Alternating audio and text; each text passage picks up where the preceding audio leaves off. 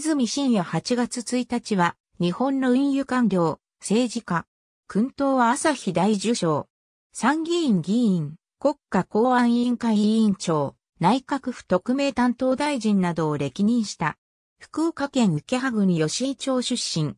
福岡県立秋吉高等学校、九州大学工学部土木工学科卒業。運輸省に入省、本省港湾局開発課長、同建設課長、第四港湾建設局長などを歴任した。また、和歌山県庁に一時出向しており、土木部港湾課にて課長を務めた。1991年4月、大臣官房審議官を最後に退官。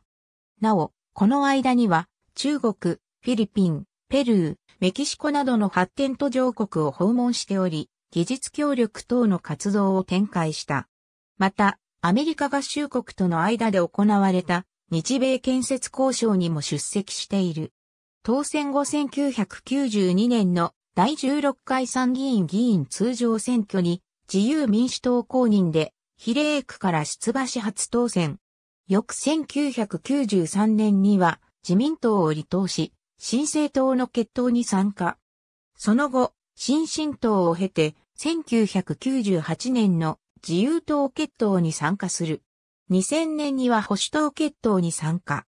森政権時候補連立政権である第二次森政権では第二次森内閣の発足に伴い運輸総括政務次官に就任し、続く第二次森改造内閣では運輸総括政務次官に加えて北海道開発総括政務次官にも就任した。さらに、第二次森改造内閣では、新設された国土交通副大臣に就任した。小泉政権時候補連立政権である第一次小泉政権では、二度目の内閣改造による第一次小泉第二次改造内閣にて、経済産業副大臣に就任した。さらに、第二次小泉政権でも、第二次小泉内閣発足に伴い、再び経済産業副大臣に就任した。なお、第一次小泉政権下では与党の一角を占めていた保守党が解散し、新たに保守新党を結成している。さらに、第二次小泉政権下では保守新党が回答したため、自公保連立政権から自公連立政権となった。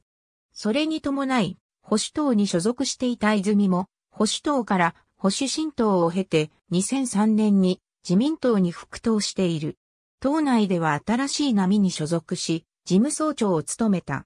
安倍政権2007年8月27日、第一次安倍改造内閣にて初入閣し、国家公安委員会委員長、内閣府特命担当大臣、及び内閣府特命担当大臣の3つのポストを兼務する。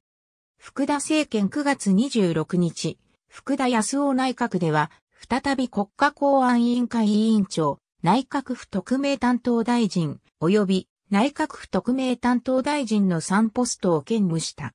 内閣府特命担当大臣在任中、2008年6月14日に、岩手、宮城内陸地震が発生したことを受けて、福田の要請に基づいて現地へ赴き、視察した。翌15日に東京に戻って福田に視察内容の報告を行った。17日に衆議院にて、20日には参議院において開催された災害対策特別委員会において、岩手、宮城内陸地震の被害状況及びその対応について報告を行った。なお、その際に内閣府の事務方により準備された読み上げ原稿は内閣府防災情報のページにおいて公開されている。2010年に政界引退。同年11月、秋の叙勲において、多年にわたり国会議員として議案審議の重責を果たすとともに、国家公安委員会委員長等として国政の数期に参画した功労により、朝日大受賞を受賞した。道路特定財源を資金源とする道路運送経営研究会から献金を受けている。ありがとうございます。